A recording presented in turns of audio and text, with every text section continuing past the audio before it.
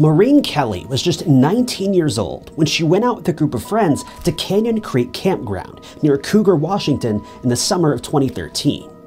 At around 5 p.m. that evening, she stripped off all of her clothing and told her friends that she was leaving to go on a quote spiritual quest, claiming she'd be back by midnight. Maureen never returned. Her friends reported her missing the following morning, but investigators quickly realized that this case was far more bizarre than they could have ever anticipated. So, what happened to Marie? Was this a simple case of misadventures in the forest, self harm, foul play, or yet another disturbing missing 411 disappearance?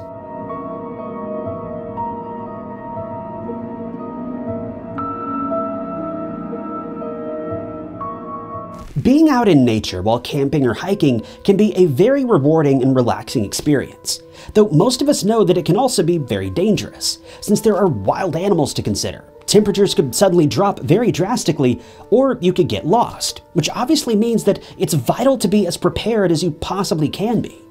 But not every excursion into the wild is planned ahead of time. It's good to be a little spontaneous, but even then, you need to keep your wits about you to ensure that you can make your way out of the woods and return home safely. But sometimes, even the most prepared people on the planet can still be bested by unforeseen circumstances, and Maureen Kelly is certainly no exception. In 2013, Maureen Kelly, known to her friends and family as Anu, was just 19 years old. She'd been born and raised in Vancouver, Washington in September of 1993 and was raised alone by her mother. Most of Anu's early life is largely a mystery. Her family's been pretty tight lipped about her upbringing, and all we know for certain is that Anu was of Pacific Islander descent. As Anu grew older, she eventually began attending Lewis and Clark High School in Spokane, Washington. This was a school steeped in history, having first opened its doors way back in the late 1800s. For Anu, it was a great place to be. She seemed to have made many friends here, and all things considered, it seemed like a great place to have grown up. Her hometown of Vancouver, on the other hand, couldn't have been more different. According to Neighborhood Scout and city data, Vancouver is in the top 10% of the most unsafe areas in the entire country. So to say that Anu grew up surrounded by crime would be an incredible understatement.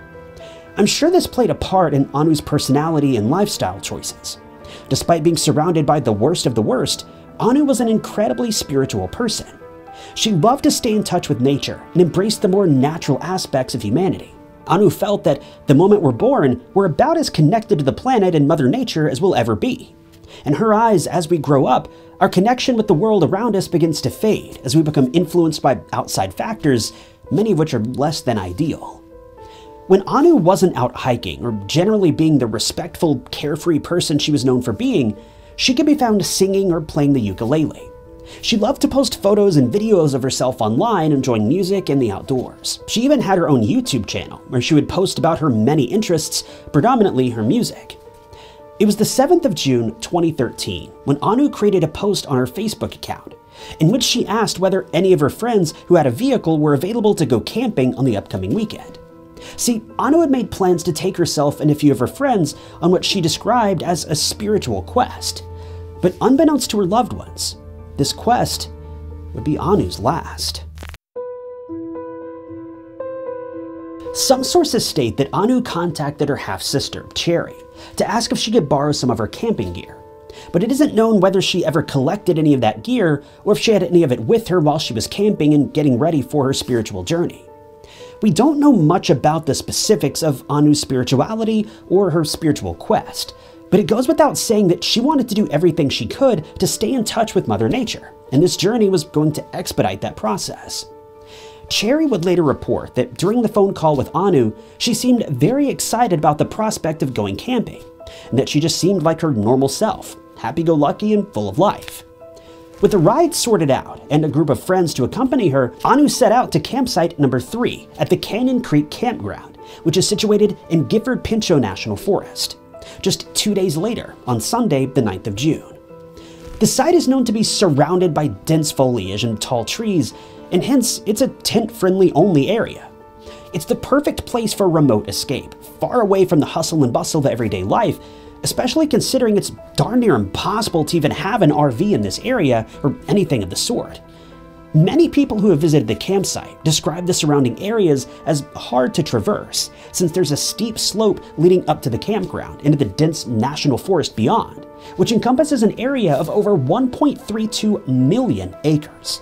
This forest is incredibly large. When the group arrived at the campsite, the weather was mild at a pleasant 70 degrees. There was no threat of rain, and it all seemed very idyllic for an afternoon of camping.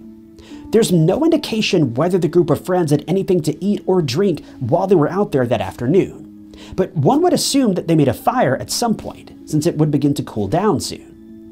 There's been a lot of speculation about whether the group took part in any alcohol or anything else while out in the woods. Many people claim that this may have been what led to the terrible series of events that's to follow.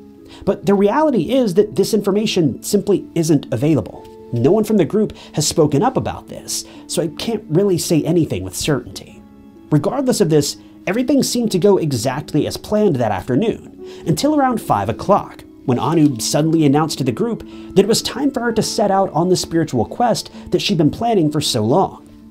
As she proclaimed that the time had come, she caught everyone off guard when, without warning, she stripped off all of her clothes, including her shoes. She acted like this was no big deal, but her friends were all shocked, to say the least. Immediately after doing so, she grabbed a fanny pack that contained a compass, a small knife, and a pack of matches. She then turned away and wandered off into the woods, telling her friends that she planned to be back by midnight. Many people have questioned why Anu's friends didn't stop her from going into the woods by herself, especially since she was incredibly underdressed and unprepared. But according to Sheriff David Cox, her friends felt that this was something that she needed to do, since she'd been talking about it for a very long time. I wish we knew more about her mental state at this time, as well as the specifics of her spirituality, because it could help to shed a lot of light on this case. But unfortunately, that information just isn't there. One thing is clear though. For Anu, this trip wasn't something that she had suddenly decided she wanted to do. In her mind, this was something she needed to do. As Anu stepped away from her group of friends, she showed them one final glimpse of her smile before walking off into the woods, never to be seen alive again. The term missing 411 refers to individuals who have gone missing under bizarre circumstances inside of a national park. Unfortunately, Anu's case is the very definition of bizarre. Anu's friends waited patiently for her to return as promised, but when temperatures started to drop into the 40s, accompanied by light rain, they became concerned since she wasn't wearing any clothing and would be left at the mercy of the elements if she didn't make it back to the campsite soon. She did have matches with her, so she would have been able to start a fire, but if the rain got any worse, that fire would have been useless. When midnight came and there was no sign of Anu, her friends felt that something had to be done, and they contacted the Skamania County Sheriff's Office to report Anu as a missing person. A search party was quickly organized, and soon as it started, detectives felt that there was a good chance that she would be found, since they very quickly discovered bare footprints not far from the campsite that were estimated to be about the same size as Anu's feet. The footprints led them to Canyon Creek, which isn't too far from the campground, and it was determined that she had crossed the creek, seemingly without any problems. Most people have, though, expressed their astonishment at the fact that she made it this far, since the going from the campsite to the creek is very steep, and it would not have been easy to traverse the terrain, especially while not wearing any shoes. Just as astounding was the fact that she seemingly climbed up the other side of the canyon, which was also very steep, and she seemed to have made it to Forest Road 54. But unfortunately, this is where searchers were unable to find any more footprints, so they had no idea which direction Anu may have walked. It was as if she had approached the road, then vanished. There were no signs of a struggle, no clues or evidence, nothing. It was genuinely like she just blipped out of existence. The decision was made to bring in search dogs from a nonprofit company called Pacific Crest Search Dogs to aid in the search, but they were unable to pick up on Anu's scent past this road. At one point, searchers considered calling in helicopters to help the search from the air, but it was the following day at this point, and a thick cloud cover had formed, which made this mission impossible. Unwilling to give up, searchers continued scouring the area for the rest of the day, but were unable to find any trace of Anu, and they had no choice but to suspend the search when it started getting dark. as their efforts would have now put even more lives in danger. They resumed the search the following morning, but again, they were unable to find a single clue as to which direction Anu had traveled, and her family and friends started to fear the worst. She'd now been nude in the wilderness for multiple days. Temperatures had dropped multiple times. Rain and mud now covered the terrain, and the conditions were dire, to put it mildly. But what's incredibly odd is that the search efforts were called off after just two days, which is a very short time in a missing person investigation. Oftentimes, rescue personnel will search for clues for weeks, even months, but in Anu's case, this simply didn't happen. It's unclear why this was done since the forest is massive and Anu could have walked in any direction that had not been searched yet. This decision, admittedly, seems incredibly irresponsible, but I feel like we have to assume that the sheriff's office likely had their reasons. Anu's family and friends then launched an urgent appeal in which they spoke to the media, begging for searchers to continue their efforts. This had the desired effect, and the search was indeed resumed that same week. But many people who followed the case still wonder why the decision was made to suspend the search in the first place, since no explanation was ever given. This wasted large amounts of crucial time. Considering Anu had no food, no water, no hope of shelter, it just boggles my mind how they could have tried to give up after less than 48 hours. One thing that's interesting about the search is that some of the searchers stated that the brush was so thick that they could probably walk right up to someone who was lying on the ground and never even notice them. They feared that the chances of finding Anu after she'd been out in the elements for nearly a week were now slim to none. This is a very, very old growth forest, so it makes sense that the undergrowth would be quite substantial. Anu and her friends waited day after day, hoping praying and begging that they would receive some sort of news. As fate would have it, they received news just six days later. But it wasn't the news that they had hoped for. At 6 p.m. on the 15th of June, just six days after her disappearance, Anu's friends and family were informed that the search was officially called off. Not a single trace of her was found, and since the likelihood that she would have succumbed to hypothermia due to the low nighttime temperatures was very, very high, authorities stuck to their decision this time around. It was announced that Anu was presumed deceased, and that was that. Not one trace of Anu has ever been found, even all these years later. It's been almost 11 years since Anu ventured out into the wild on her own, and to this day, no one knows where she went, what happened to her, or if she was trying to make her way back to the campsite when she went missing. As with most unsolved missing person investigations, those that kept close tabs on the case have their own theories as to what happened to Anu, and some of them make a lot more sense than you would expect. This isn't one of those typical missing 411 cases where everyone suspects some kind of alien abduction. No, this case hits very close to home for a lot of people, and some of these theories may just be correct. The most common and most likely scenario is that Anu lost her way while in the forest, and having no clothing or other supplies like food to keep her warm, she had to bunker down for the night, planning to finish her journey in the morning.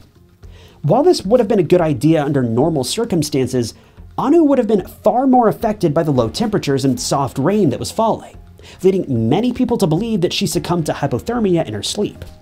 The reason why she was never found well, it's entirely possible she was taken off by an animal, as disturbing as that may sound. One would think that if this were the case, Anu's remains would have eventually been found, in part or in whole.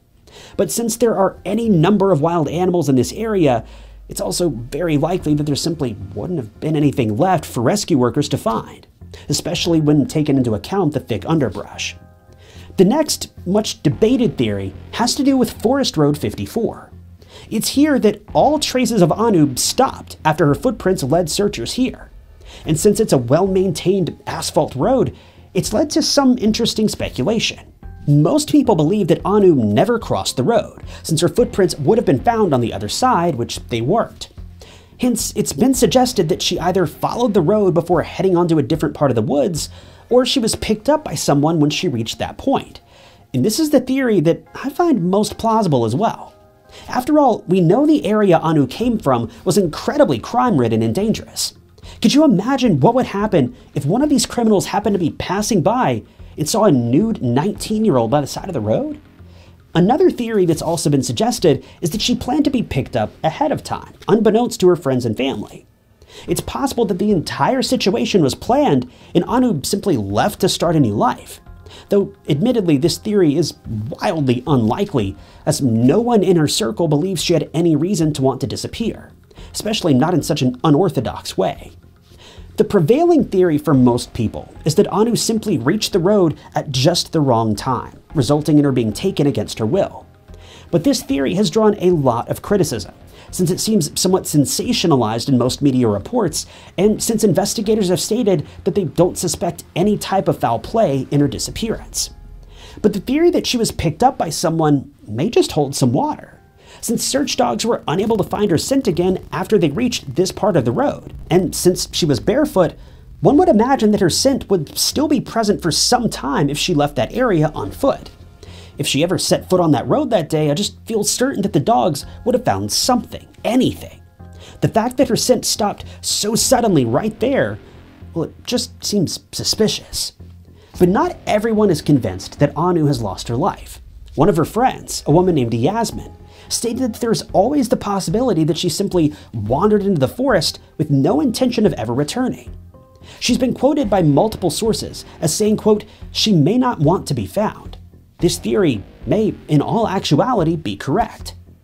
One final idea is that given Anu's outlook on life and her spiritual nature, she may have taken illegal substances before she headed out on her quest, but Sheriff Cox stated in an interview that there was no indication that she had taken any such substance or any alcohol, and it's far more likely she was just eager to head out into nature on her own, then got lost or didn't make it to shelter in time. It's entirely possible that Anu is still alive somewhere, but given her loving character, it seems far more likely that if this were the case, she would have reached out to one of her loved ones at some point to reassure them that she's alright, and that they no longer need to worry about her. Whatever the case may be, Anu's disappearance has never been solved, and at this point, it seems very unlikely that her friends and family will ever receive the answers they are so desperately searching for. If you have any leads on Anu's case, you're asked to get in contact with the Skamania County Sheriff's Office at 509 427 9490. Thank you guys for tuning in to another episode of True Crime Stories. If you enjoyed this video, check out this other interesting case I covered, and don't forget to subscribe. It's totally free and keeps you up to date with all of my future videos. You can also click that join button below to help support the channel and see new videos long before everyone else does.